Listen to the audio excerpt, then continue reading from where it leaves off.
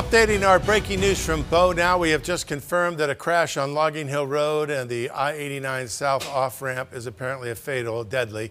The area is closed while Bow police and state police investigate. We'll bring you more information as it becomes available.